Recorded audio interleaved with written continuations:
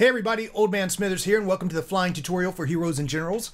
I've been trying to get this out for weeks, if not months, and something always came up to stop me from doing it.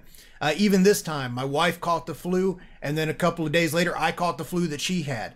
So there's going to be a couple places in here where I'm talking kind of quiet, try not to wake up the wife, and other places where I could have named this, you know, like progression of the flu virus, and it'd have been accurate, because you'll see me get worse in every single video.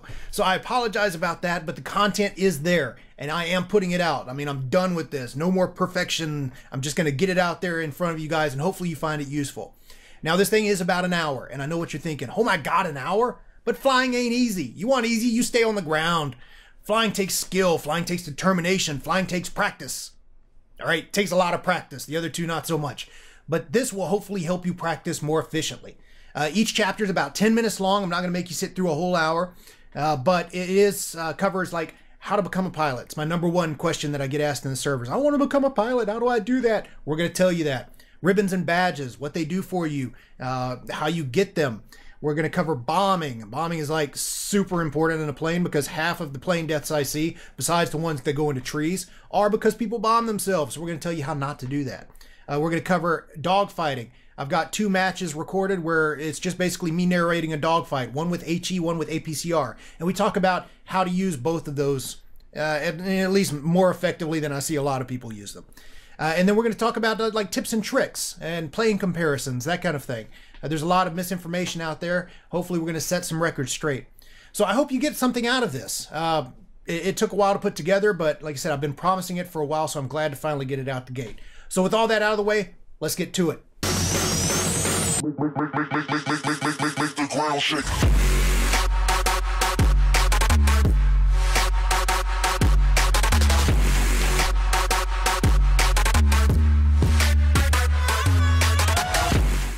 the first video of this series, we're going to answer the question that everyone always starts off with. How do I become a pilot?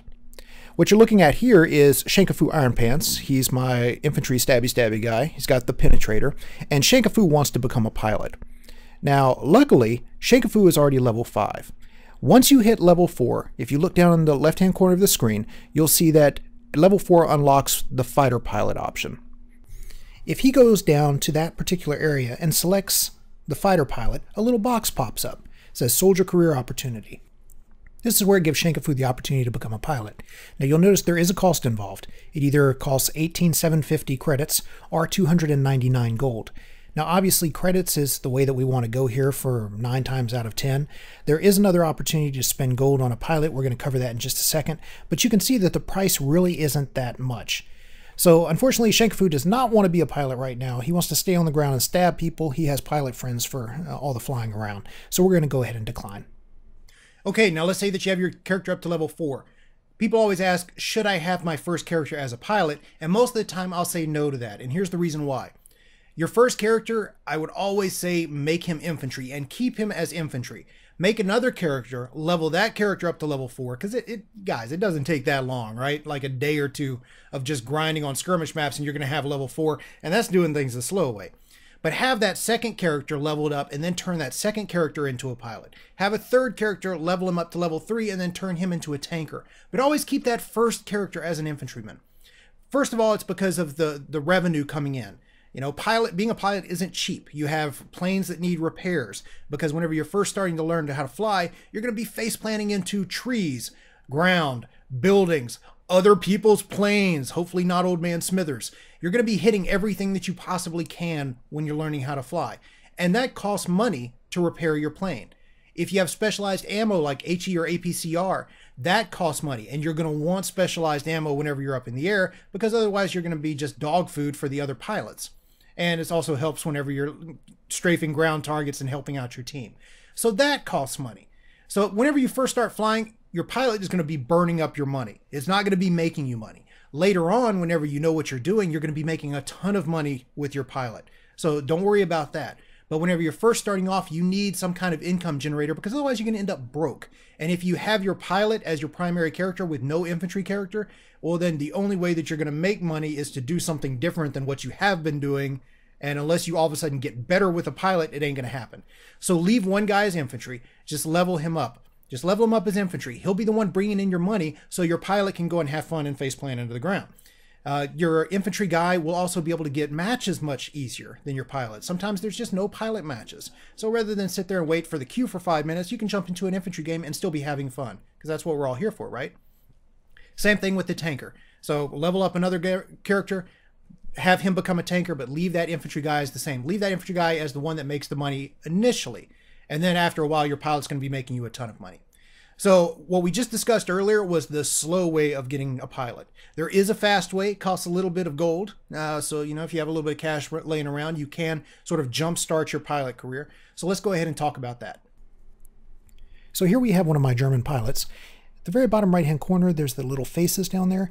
If you click on that, it'll bring you a list of all of your soldiers. So you can see all of my soldiers here. Most of them are US. I do have a couple of uh, newbie German guys on this account. Now we're going to scroll back up and at the very top it says click to enlist soldier. We're going to go ahead and click on that. Now remember earlier how I said that you could level up an infantry and make one a tanker and then get another infantryman and level him up and become a pilot. This is where you purchase those extra infantry guys. Now you'll notice for a small cost, 7,100 credits, uh, you can get just your run-of-the-mill basic uh, private infantryman, both for German and US, whichever side you're on. It's not a huge cost. Uh, this is where you get your newbie guys. Now, if you want something more than your average newbie guy, you can purchase Academy trained characters here. Now, Academy trained characters allow you to jump the grind, just completely dodge it, and you can go from private to lieutenant infantry or even major infantry. And lieutenants and majors come with a higher salary. They allow you to command uh, assault teams in the general's map outside the scope of this particular tutorial. But you can dodge all the time that it would normally take you to get there. Likewise, you can dodge directly to pilot or tanker or recon or paratrooper. Now there is a gold cost attached to these uh, jumps, and there is, you know, a downside to academy trained characters, like you knew there would be, right? Academy trained characters cannot swap to other classes, so if you purchase an academy trained infantryman, he will never be able to jump to paratrooper or to recon or to pilot. Likewise, if you buy a uh, academy trained pilot, that pilot will never be able to jump to a paratrooper or to an infantry or to recon. So whenever you purchase these, if you decide to do so, make sure it's what you want. Make sure you want a tanker, make sure you want a pilot, because that's all these characters are ever going to be. One last thing, the pilots are not cheap. So as you can see, uh, the starter pilot is one cost, the lieutenant is even more, and the major is, is a lot more. If you're going to purchase Academy trained characters, I would go ahead and purchase the lowest rank possible because you're going to be flying with this guy, you're going to be learning how to fly. The experience is going to come naturally. All you really want is just the ability to fly. So if you buy a pilot, buy the lowest pilot possible. Save your gold, uh, then just get behind the cockpit and fly and practice, and the experience is going to come naturally, and you'll level this guy up before you know it. So that's it. That's the two easy ways to get a pilot. You can either grind your character up uh, to like level four, takes about a day. Uh, grind him up and then do a career swap over to fighter. Just remember to have that primary character, keep him as an infantry, level up another guy. Uh, just showed you how to do that. The second way is you can buy an academy trained pilot, uh, a little bit of gold. But if you're going to do that again, just remember buy the lowest rank possible. The upper ranks really don't give you much that you can use right away, uh, especially if you're just starting out. You're not going to have war funds for ATs. So get the lowest rank, uh, Bastian Borchardt, which is my German pilot. I don't even use him that much. He was an academy trained. He started off at level zero. You can see where he is now. And like I said, I don't fly him that much. I mainly just use him for tutorial videos and to try out different things with uh, 109 so I know how to fly against them. I, I usually fly US. It doesn't take long, guys. So don't don't drop all that money for a major. In my opinion, do what you want with your money. But in my opinion, it's just not worth the money. Uh, get the lieutenant, and you can just learn how to fly while you're leveling him up. Everybody wins, right?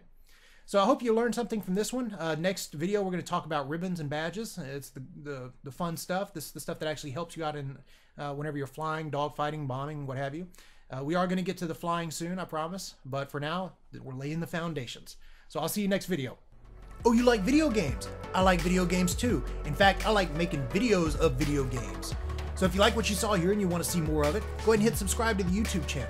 You can also catch me on Facebook, Twitter, or oldmansmithersgaming.com, all of which will let you know whenever I'm online and streaming.